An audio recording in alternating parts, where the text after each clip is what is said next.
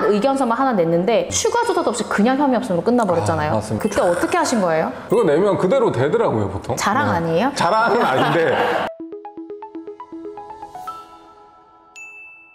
안녕하세요. 안녕하세요. 여러분의 인생을 지켜드리는 검사 출신 이고은 변호사. 배한진 변호사입니다. 네, 오늘은요, 검사의 마음을 돌리는 방법, 예, 아, 저희 네. 검사 출신 변호사들이 특별히 좀 알려드리려고 합니다. 변호사님, 어, 경찰에서요, 기소 의견으로 땡땡땡 검사실로 송- 기록 송치한다는 문자 받았는데, 어떻게 해야 돼요? 다막 사무실로 달려오시는 의뢰인들 있잖아요. 음. 네. 정말 억울하신 분들, 아직 기회가 남아 있습니다. 네. 그래서 경찰에서 기소 의견을 송치된 사건에 대해서 저도 검사일 때 경찰의 의견을 바꾸는 비율이 한 10%에서 15% 사이 정도로 바꿨던 것 같아요. 어떻게 바꿀 수 있는지.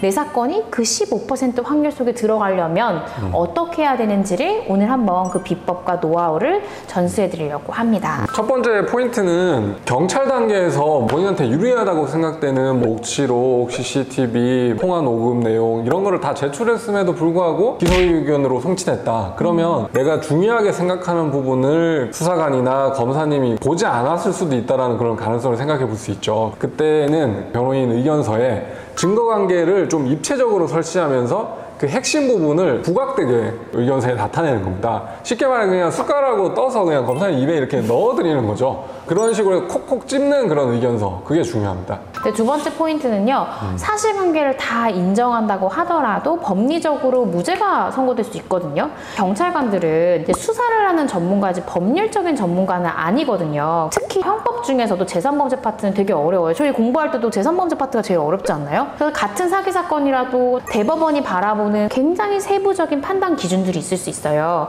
그래서 최근에 저희도 수행했던 사건 중에 법리만 잘 구성하면 충분히 혐의 없음 처분을 받겠다라는 생각이 드는 거예요. 네. 그래서 의뢰인과의 면담을 통해서 저희가 생각하는 무죄 판결과 이 사건이 왜 유사한지 법리 구성을 잘 한 다음에 분석하는 의견서를 써서 검찰에 제출을 했고 굉장히 빠른 시간 안에 심지어 피의자를 다시 부르지 않고도 혐의 없음으로 종결이 된 그런 형사 사건이 있었습니다. 네. 그래서 법리를 잘 분석하는 의견서를 내는 것이 중요하다라는 거고요. 세 번째로는 수사 오래 하신 분들은 그 피의자를 대면해서 얘기를 하다 보면 거짓말을 한다, 죄가 있다라는 그런 심증이 바로 형성이 되기 때문에 그 심증에 기초해가지고 빨리 수사를 끝내고 송치해버리고 싶은 경우가 사실 있거든요. 그런 경우는 변호사 의견서를 통해가지고 이런 참고인과 증거들에 대해서 조사를 하면 결론이 바뀔 수 있습니다. 수사 촉구 의견서 반드시 필요하게 되는 거죠. 맞습니다. 그러니까 음. 경찰 단계 때요, 변호사님, 이게 목격자가 있거든요. 불러달라고 해도 안 불러줘요 하시는 분들 있거든요. 그럼 어 그 사람이 뭘 알고 있는데요? 좀 물어봐요. 얘기 듣다면 어 필요한데 왜 안 불렀지? 라고 의문이 드는 거예요. 제가 의문이 들면 검사님도 의문이 들거든요. 음. 그렇죠. 그러면 검찰 단계 때 검사님 이 사람요 경찰 때 우리 의뢰인이 계속해서 불러달라고 했는데 불러주지 않았습니다. 그런데 검찰 단계 때는 반드시 이 사람 불러서 조사를 하셔야 됩니다. 그 이유는 이 사람이 어떤 걸 알고 있고 이걸 확인하셔야 기소할지 불기소할지 정확하게 판단하실 수 있습니다라고 수사 촉구 의견서를 통해서 어떤 부분에 대한 수사가 필요한지를 논리적으로 쓰는 거죠. 그렇게 돼야 수사의 판도가 바뀌는 것이지 정말로 경찰에서 온 사건의 90% 정도는 경찰의 의견대로 처분이 되기 때문에 진짜 억울하다라고 하면 변호인 의견서를 잘 써서 그런 포인트들을 잘 살려야만 우리가 원하는 혐의 없음 처분이나 증거 불충분 이런 처분들을 네. 받을 수가 있습니다. 저는 의뢰인 얘기를 들으면서 의견서를 어떤 걸 써야 될지 쫙 머릿속에 그려져서 그거 내면 그대로 되더라고요 보통 자랑 네. 아니에요? 자랑은 아닌데 아니, 그러니까 자랑 아니에요? 그만큼 이게 훈련이 돼 있기 때문에 맞아요. 그냥 머릿속에 목차가 막 떠올라요 네, 심지어 최초 상담 때부터 떠오르지 않아요. 그 얘기 듣고 경찰 조서만 보면 아 이게 경찰서 때 너무 부족했다라는 게 들면서 의견서를 어떤 방향으로 써야 되겠다, 증거를 어디 배치해야 되겠다는 게 그냥 그려져요. 훈련이 되는 것 같아요. 네. 검사 생활을 하면서.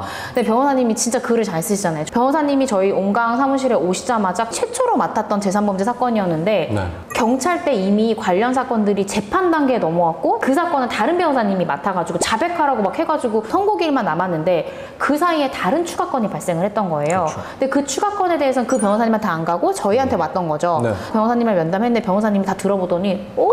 이건 사기가 아닌데요? 아니죠. 이건 법리상 안 될 것 같은데요? 라고 하시고 검찰 단계 때딱 의견서만 하나 냈는데 추가 조사도 없이 그냥 혐의 없음으로 끝나버렸잖아요. 아. 경찰에서 1년도 걸렸던 거를 의견서 내고 얼마 지나서 바로 혐의 없습니다. 근데 그때 어떻게 하신 거예요? 배임이라는 게 사실관계가 다 인정된다고 해도 법리상 인정되기가 굉장히 어려운 거거든요. 음. 맞아. 그런 법리상의 약점을 잘 파고들었고 음. 중요 참고인이 있었는데 진술을 수사기관에서 잘 안 들었던 것 같아요. 맞아요. 음. 그래서 제가 이 사람의 진술을 꼭 들어야 된다 하면서 사실 확인서 같은 것도 피의자한테 받아서 내기도 했는데 그 두 가지 전략이 좀 주요했던 것 같습니다. 네, 맞습니다. 그래서 여러분이 알아두셔야 되는 게 경찰이 사건을 대할 때 중요하게 보는 포인트랑요. 검사가 처분을 결정할 때 보는 포인트가 되게 달라요. 다르죠.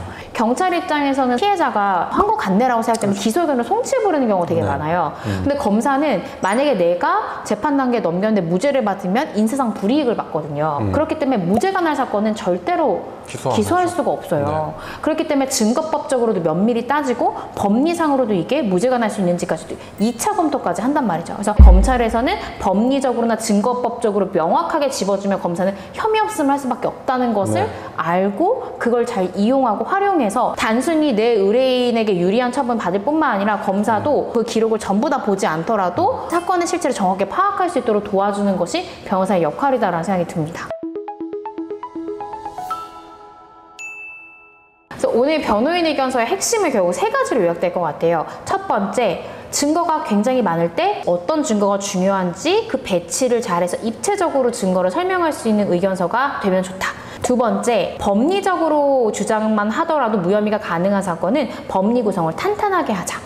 세 번째는 부르고 싶은 목격자 참고인을 경찰청에서 불러주지 않을 때 중요 참고인을 왜 수사해야 되는지 그 수사 요청 사항을 명확하게 넣는 의견서가 되자라는 거예요. 첫 번째, 세 번째 포인트는 어떻게 생각하면 의뢰인들이 스스로 하실 수도 있지만 두 번째 사실 법리 구성 부분에 대해서는 반드시 법률 전문가와 상담이나 면담을 통해서 변호사의 도움이 필요하다라고 생각하시면 도움을 받으시는 것이 좋다는 것이 제 사견입니다. 오늘은요 검사의 마음을 돌릴 수 있는 방법 그 중에 첫 번째 변호인 의견서가 어떻게 써야 되고 어떤 부분을 담아야 되는지에 대해서 말씀을 드렸습니다.